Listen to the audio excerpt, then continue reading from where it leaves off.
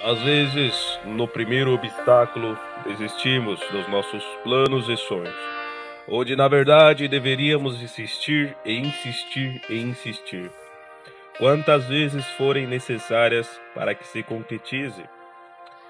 Esta história, a qual irei contar agora, é um belo exemplo de que a persistência nunca é demais. Um homem investe tudo o que tem numa pequena oficina.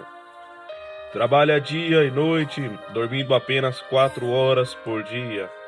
Dorme ali mesmo, entre um pequeno turno e algumas ferramentas espalhadas, para poder continuar seus negócios. Empenha sua casa e as joias da esposa. Quando finalmente apresenta o resultado de seu trabalho a uma grande empresa recebe a resposta de que seu produto não atende ao padrão de qualidade exigido. O homem desiste? Não.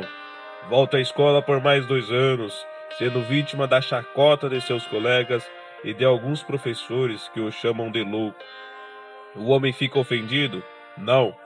Dois anos depois de haver concluído o curso de qualidade, a empresa que o recusará finalmente fecha contrato com ele. Seis meses depois vem a guerra. Sua fábrica é bombardeada duas vezes. O homem se desespera e desiste? Não.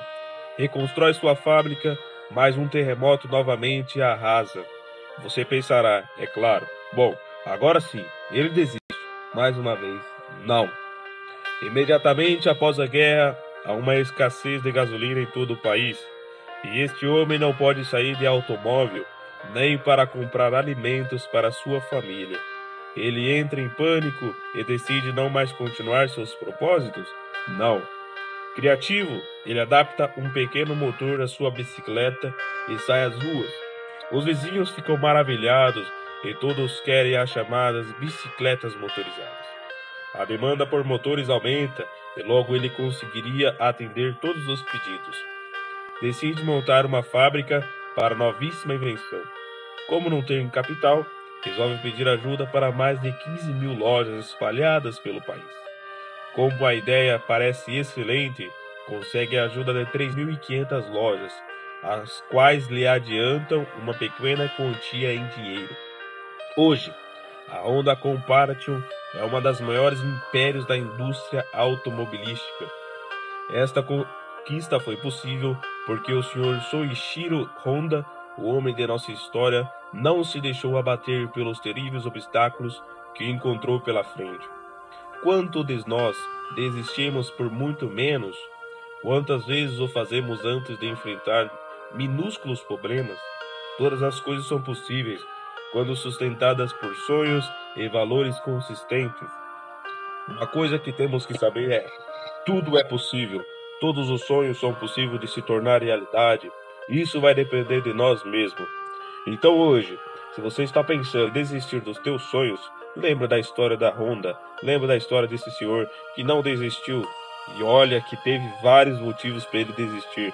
Teve guerra, teve bombardeio, né? Teve vários motivos e vários motivos. Teve a opressão, teve a voz do fracasso dos seus colegas da escola, dos vizinhos que chacoteavam ele, que falavam que não ia conseguir, que isso era ideia de louco, mas ele desistiu, ele deixou as pessoas entrar na sua mente? Não, não deixou. Então, se você quiser deixar os doidos, as pessoas que querem falar para você que você não vai conseguir entrar na sua mente, deixe, meu querido, deixe. Mas você nunca vai chegar lá na frente e vai falar: Ó, oh, eu consegui. Você acha que o seu Honda não mostrou para eles que ele conseguiu?